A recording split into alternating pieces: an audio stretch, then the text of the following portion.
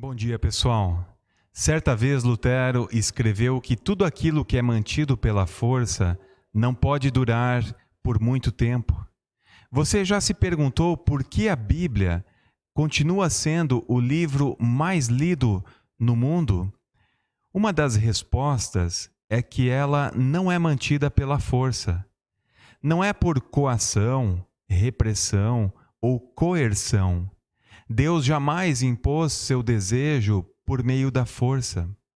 Na história da humanidade, quem tentou usar a Bíblia de forma coercitiva para, de alguma forma, exercer poder sobre as pessoas, no final acabou perecendo. Por outro lado, Deus percebeu que a humanidade precisava de um caminho. Por isso, enviou Cristo, que é o caminho para se chegar a Deus Pai.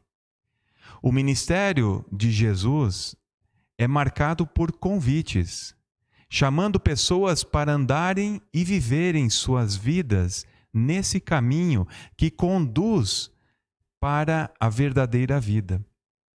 Ele apenas convida. Você o aceita se quiser. Se não aceitar, você, entre aspas, escolhe outro caminho e no final acaba expirando. Isso também acontece com ideologias, com políticas que são marcadas pela força ou poder, ou até mesmo posicionamentos que são antibíblicos.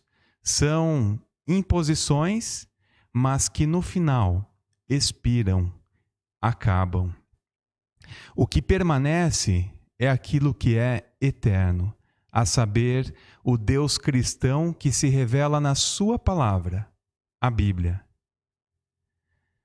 O texto de Romanos, capítulo 1, o versículo 16, vai dizer assim: Não me envergonho do Evangelho, porque é o poder de Deus para a salvação de todo aquele que crê. E a minha oração dessa manhã para terminar esse momento é que Deus, por meio do seu evangelho anunciado e pregado, chame muitas pessoas para viverem uma vida marcada pela presença do Senhor. E que esse chamado seja por meio de respeito e de amor. Que Deus abençoe o nosso dia.